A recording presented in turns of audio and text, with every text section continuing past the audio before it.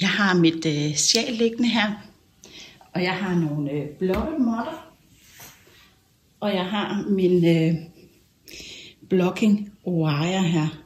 De fås i forskellige længder. Det er sådan noget øh, stål, der ikke ruster. Så har jeg min øh, blokkekamme. Og jeg har nogle T-pins. Det er altså igen også øh, nåle, der ikke kan ruste, fordi de bliver ikke, de ligesom rører ved, og de er i kontakt med vand. Øh, de følger med, når man køber sådan et øh, -sæt. Jeg har lagt øh, ni måtter ud. Det er sjældent nok til et sjal, og ni måtter, det er det, der er med i de fleste standardstørrelser. Sådan der. Nu prøver jeg lige på at få se, om jeg på den ene eller den anden måde kan få plads til mit sjal. Og lige nu her, der kan I se, der har jeg ikke gjort andet ved det. Og hvis jeg bare skulle lade det ligge og tørre øh, helt almindeligt, så vil øh, det mønster, der er her, det vil ikke blive lige så tydeligt, som det bliver nu her, hvor vi blokker det. Så det første, jeg skal have gjort, det er ligesom at have fat i nogle af mine lidt længere wire. Og jo mere man bruger dem, her der har jeg haft noget, der skulle blokkes rundt et øh, pisjal. Øh, den kommer aldrig rigtig ud i form igen, men det er okay. Den har jeg bare væk. Den kan bruges igen næste gang, jeg skal blokke noget, der er rundt. Jeg øh, har strikket en hestetømmekant her. Så det jeg gør, det er bare, at jeg fører min øh, blocking wire her ind igennem kanten, så godt jeg nu kan. Uden, altså jeg er ikke super forsigtig med, at der er noget, der går galt. Prøv at se her. Så det jeg gør her, det er ligesom bare, at jeg kører ind mellem nogle masker. Nu skal jeg lige ind og være sikker på, at du kan se, hvad jeg laver. Så det ser altså bare sådan her ud. Det gør jeg ved det her sjal her. Der kunne også være, at øh, sjælet havde en blonde kant, og det skal jeg også nok vise, hvordan man blokker. Det viser jeg på sådan en lille prøve. Men her der havde jeg lige et øh, sjal i fuld størrelse, og det er et lille sjal.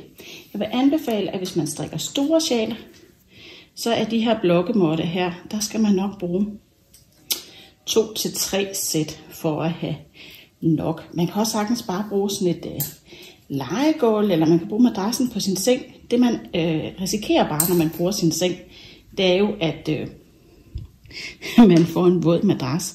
Men nu sætter jeg lige de her i, og det gør jeg i alle tre kanter, og så vender jeg tilbage. Nu har jeg fået sat øh, wire i, og heroppe på det lange stykke her, der er min wire ikke lange nok. Så det jeg gør, det er, at jeg fører en ind fra den ene side, og jeg fører en ind fra den anden side. Og så på det stykke her, der lader jeg dem ligesom overlappe hinanden og gå igennem det samme. Heroppe i den her kant her, der har jeg taget øh, ud med åbne huller. Mit er jo strikket op fra og ned, så I ved godt, man har omslag her og så videre. Så der har jeg stukket, hvad hedder det, wiren igennem omslagene. Og her rundt i kanten her, der har jeg lukket af med en hestetømme. Så der har jeg stukket igennem hestetømmen. Det første jeg gør nu, det er lige at få lagt mit sjal sådan nogenlunde. Og så sætter jeg en kam heroppe. Og jeg øh, trækker ud i min wire her. Og så sætter jeg en kam. Sådan. Hernede, der tager jeg en lille kam. Og så trækker jeg ligesom bare rigtig godt ned og ud til kanten. Og sætter en lille kam på den ene side. Og en lille kam herover på den anden side. Skal jeg lige se, jeg kan godt se hele vejen hen her. I kan godt se, nu arbejder jeg ligesom fra spids til spids. Så nu trækker jeg hjørnet ud så godt jeg kan her. Og min øh, måtte er ikke helt lang nok, men jeg har besluttet, at det er okay. Øh, jeg skulle have haft et ekstra sæt på, men så kunne I heller ikke rigtig være med herinde i, i øh, inde fra kameraet af her, så var det ikke helt så let at filme sådan der. Godt. Så strækker jeg den lige lidt ud her. Det gode ved wirene, det er, så skal man ikke øh, bruge så mange af de her kamme her. Men man skal lige bruge et par stykker, så jeg tager ligesom kammen, og så trækker jeg lidt ud. Det gør jeg også her. Og det jeg gerne vil have nu, det er ligesom, at jeg vil gerne have mit mønster her, det bliver spændt godt ud. Så begynder jeg at trække her, og jeg skal jo have kanten. Det er så let, for jeg har kørt helt ud til kanten her.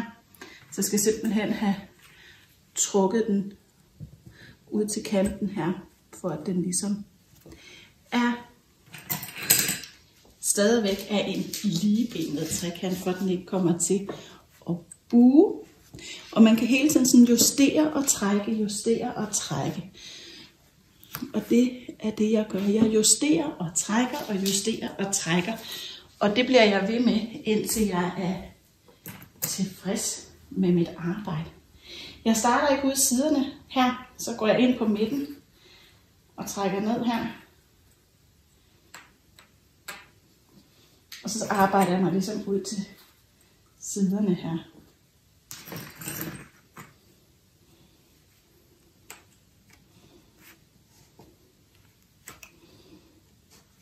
Og så hernede i spidsen, der tager jeg lige øh, to T-nål her.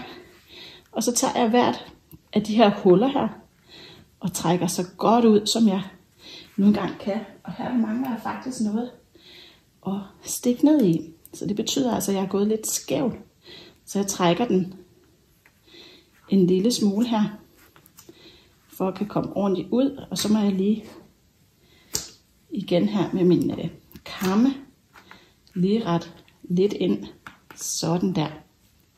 Godt. For jeg vil jo gerne have, at den er spids hernede. Det kan I slet ikke se. Skubber lige lidt. Jeg synes, det letteste sted at stå med det her, det er ved sit spisebord. Øh, førhen i gamle dage, så lå jeg øh, nede på gulvet. Og det synes jeg faktisk, man godt kan få lidt ondt af. Nej, det var faktisk ikke nødvendigt med den her. Men prøv at se her. Nu er det altså spændt ret flot ud. Og mønstret her, mønstret her, det har fået lov at åbne sig flot. Sådan. Nu øh, skal mit sjal, det skal bare ligge her indtil det knastørt. Jeg skal være sikker på, at denne her linje her, den er lige. Det synes jeg ikke, den er. Jeg synes, den trækker lidt skævt her til den ene side stadigvæk. Så tager jeg lige de her ud, og så må jeg lige se her, om jeg kan rette lidt til, hvad er det, der sker. Det er nok den der nål. Sådan. Godt. Ser jeg lige igen.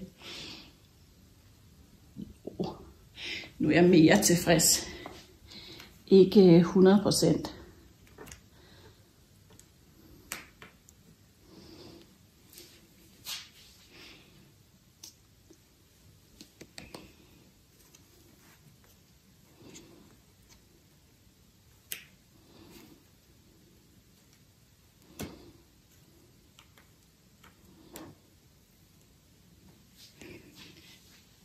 Det var meget bedre. Sådan der. Nu får det bare lov til at ligge og tørre indtil det er færdigt. Og så er det klar til at blive brugt.